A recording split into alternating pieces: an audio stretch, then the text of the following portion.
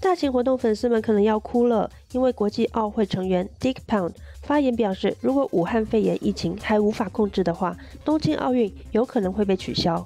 卫报报道，根据奥会成员的说法，如果在接下来几个月疫情还是无法控制，那么今年的东京2020奥运将很有可能被取消。